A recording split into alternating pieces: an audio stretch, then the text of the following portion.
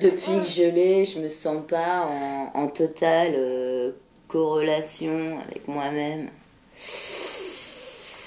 C'est mon fils, mais en même temps, euh, c'est comme un étranger qui s'immisce dans ma vie. Bon, tu penses bien, euh, j'en ai parlé en séance. Alors, elle dit que c'est à cause de la réincarnation de l'enfant. En fait, il est complètement en transfert dans sa nouvelle enveloppe charnelle qu'il lui faut à la fois assumer, mais sans véhiculer la culpabilité des vies antérieures. Et il doit réapprendre un nouveau champ d'expérimentation pour énergiser son ki.